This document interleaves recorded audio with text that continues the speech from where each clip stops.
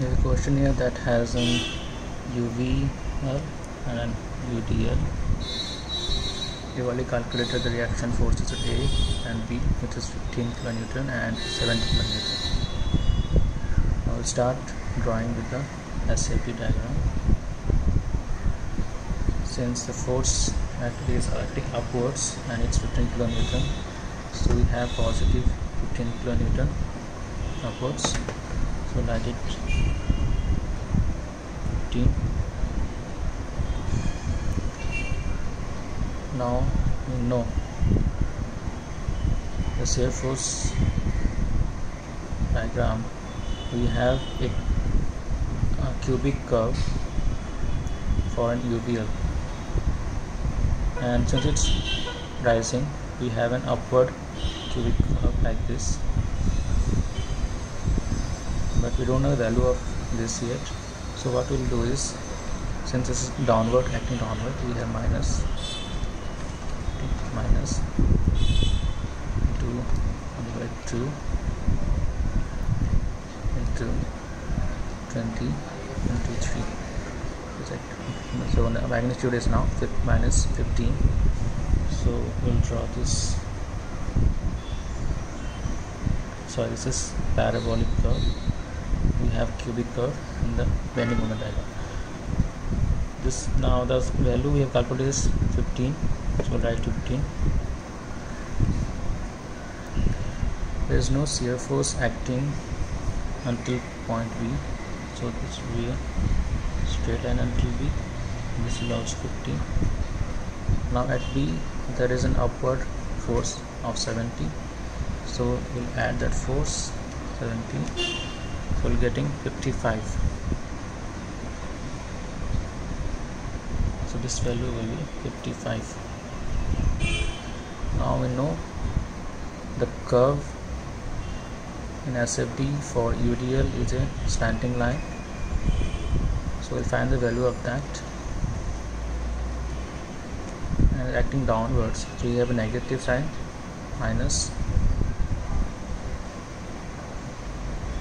20 into 2 so it is coming positive 50 so we'll draw it to 15 then we have a downward reaction force of 15 kilonewton so we'll draw it this way. This is positive this is negative and this is positive again. Now to calculate this point which is known as point of contraflexure we are taking triangles so it's an entire triangle from A to D. And we're taking a section at a distance x from A. Then we have separated this triangle. So this is the x distance and this is 3 meters. By symmetrical triangles you can write this as m by x. Need the value of m so we'll use the symmetrical triangles rule. You can write it m by x equals 20 by 3 or m plus 20 by 3 into x. So this is the value of m like we have the value 20 kilonewton over here. And with the value of m you can go ahead to find the shear force equation on the shear wheel. Now we know when there is a force in this direction about a section it's taken as positive. So the force at A is 15 kilonewton upwards so write it as 15 then for this triangle the force will act at so this distance will be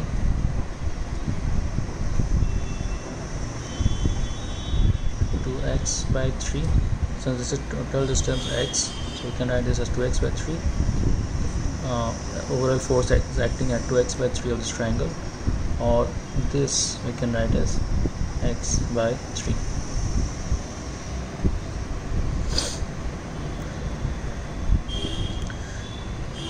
now the force of this in the shear force equation we can write as so we have magnitude of 20x by 3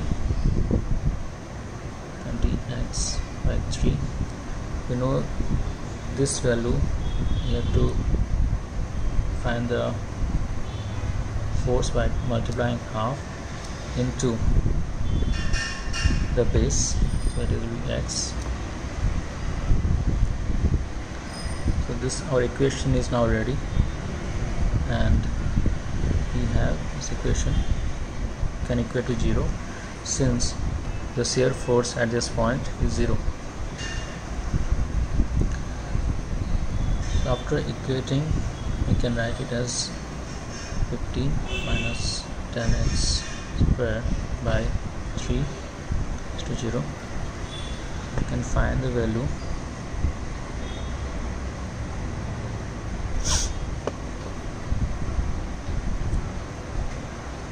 x by 3 equals to 15 or x square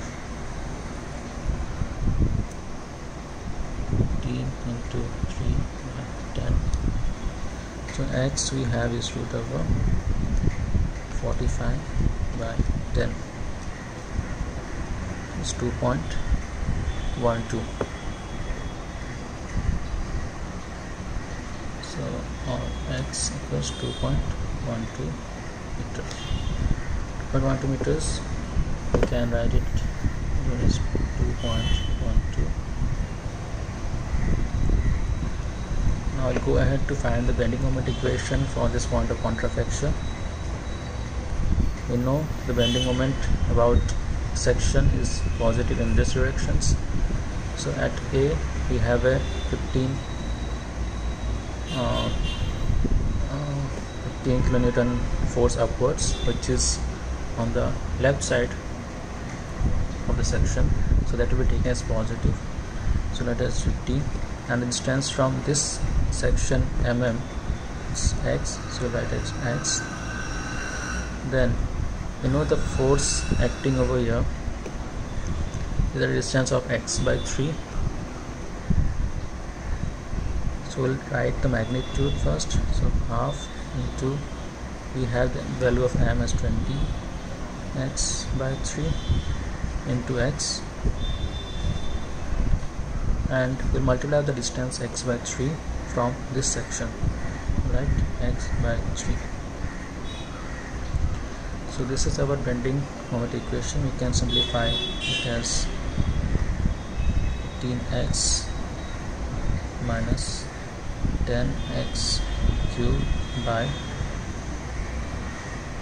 9 since there is a cube root over here so the curve will be a cubical curve. We had a parabolic curve over here. The curve made here will be a cubic. Now to find the value of bending moment at x we equate x equals 2.12 so write 15 into 2.12 minus 10 into 2.12 whole cube by 9 so we got a value of 2.21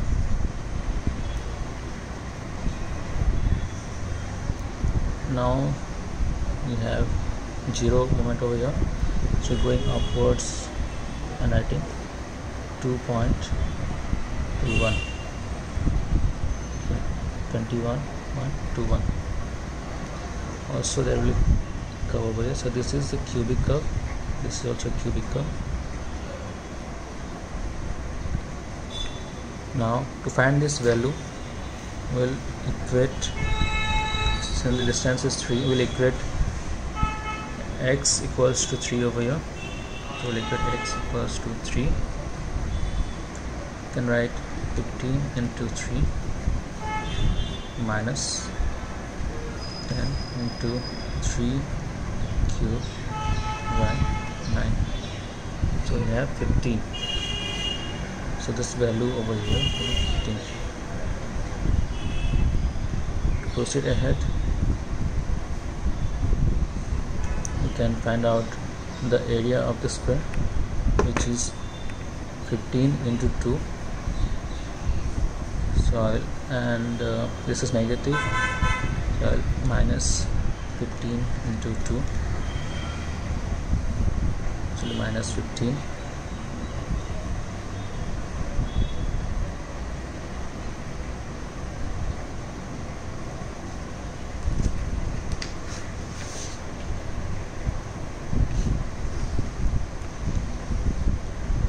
a straight line go 15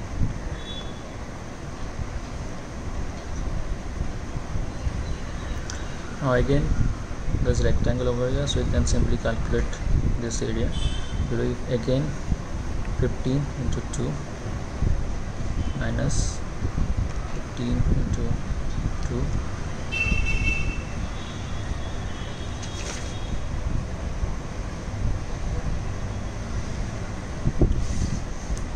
I missed the moment over here. So I'll eliminate this right?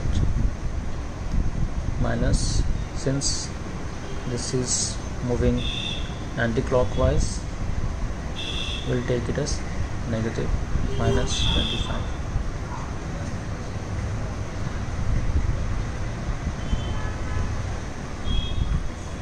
So uh, this will go down to 40 now you can calculate the area again. Minus 15 into 2 I'm getting 70 again a slope. 70 now for UDL we know the curve will be a parabolic. To calculate the bending moment you can divide it into two parts. One is a rectangle and a triangle. So for that I will subtract I will add this because this is a positive. So I'll have plus. First I will add this area which is 15 into 2 then I'll add this area of the triangle which is plus 15.5 into 15 to 2 2 meter. Into this distance. Since is 15 here.